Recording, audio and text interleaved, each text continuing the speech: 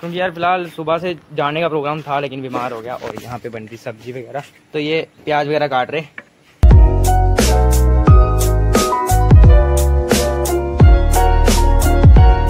सिर्फ़ एक रोटी खाई हुई है। गला काफ़ी ज़्यादा पक गया है और यहाँ पे गर्मा गर्म बन रहे हैं, ये देखो। और गर्मा गर्म ही खाएँगे हम लोग। यार लेट कर देंगे, वहाँ पे रास्ते में खड़े हो गए, वहाँ पे जा भी नहीं सकते। तो यार, ये तो वहीं पे रुके हुए हैं। तो बस जिनके घोड़े हैं, वो भी आ रहे तो ये देखो। Guys good morning and welcome back again to new blog तो गाइस अभी जो है सुबह के टाइम हो रहे हैं साढ़े आठ और फ़िलहाल उठ चुके हैं।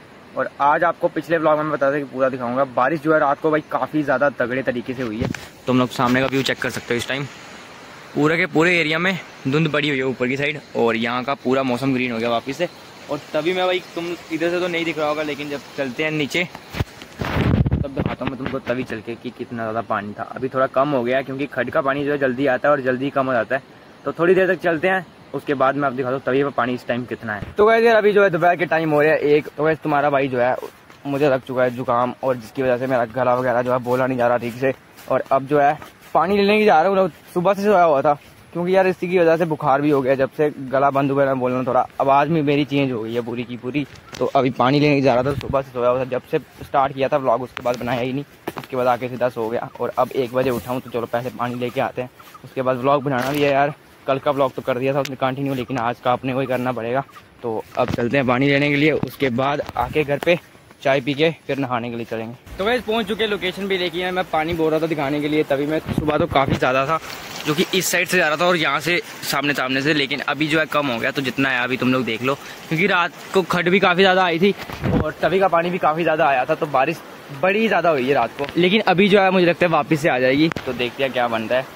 आज स्कूल भी नहीं गए, घर पे ही थे। ये देखो पानी भाई। अभी कम हो गया, सुबह यार मैं आ नहीं पाया क्योंकि बीमार हो गया था, उसके बाद बुखार था तो सो गया। अब घर पे चल के दवाई वगैरह भी देनी है सबसे पहले यार, ये देखो पानी।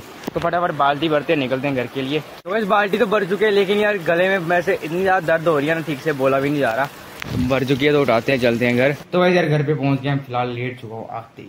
तो वैसे घर पहुँच के मिल चुकी है अपने को गर्मा गर्म चाय, और अपने को नहाने के जाना लेकिन बाहर बारिश लगना स्टार्ट हो चुकी है तो नहाने के लिए नहीं जाएँगे। चाय पीते हैं। तो भाई यार सुबह से बोलने के बाद अब जो है नहाने जा रहा हूँ अब शाम के बज रहे हैं पाँच। क्योंकि यार ये देखो सारा सामान अपना ले लिया। क्योंकि यार फ़िलहाल सुबह से जाने का प्रोग्राम था लेकिन बीमार हो गया और यहाँ पे बन रही सब्ज़ी वगैरह। तो ये प्याज वगैरह काट रहे और यहाँ पे बनेगी। तो अपन लोग नहा के आते हैं। तो भाई पहुँच चुके हैं यहाँ पे तो फ़िलहाल नहा लेते हैं यार। सुबह से प्लान बना रहा था। दस बजे बोला था नहाने के लिए जा दूँगा लेकिन दस बजे के बाद एक बजे तक सोया रहा।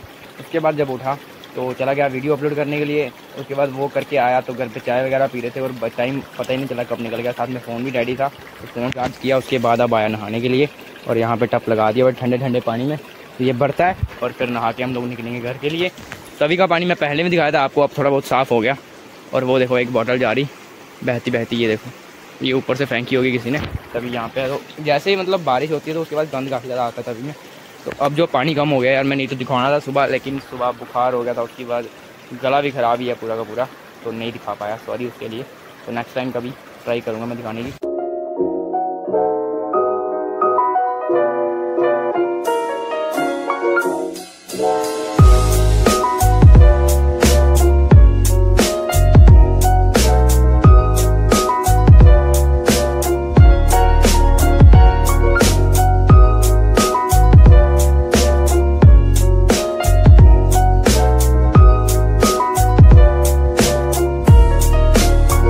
ठंडे ठंडे पानी से नहा लिया, आपने देखा होगा तो काफ़ी ज़्यादा मज़ा है भाई। तो पूरा का पूरा ठंडा पानी है, काफ़ी ज़्यादा मज़ा है नहाने का। अब अपने को चलना है घर पे वापस। तो एक दो जगह और डाल लेते हैं ऊपर, ताकि पूरे के पूरे ठंडे हो जाए।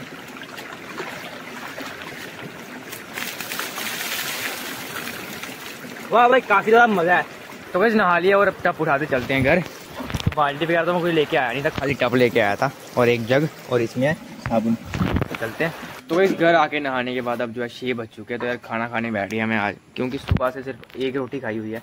गला काफ़ी ज़्यादा पक गया है। और यहाँ पे गर्मा गर्म बन रहे हैं ये देखो। और गर्मा गर्म ही खाएँगे हम लोग। और कड़ी और बनी हुई है घर पे। तो इसके साथ चार लेने की ज़रूरत नहीं, क्योंकि ये वैसे भी कट्टी है। तो खाते हैं और उसके बाद थोड़े खा के फिर मिलते हैं। तो वैसे अब मैंने तो खाना खा लिया बारी इसकी। और ये खा के फिर मेरे को जाना गाय लेने के लिए और साथ में पानी की बाल्टी डालनी है। भाई बोला भी नहीं जा रहा यार इतनी ज़्यादा गले में दर्द हो रही है। तो थोड़ी बहुत एक दो दिन होगा ऐसा।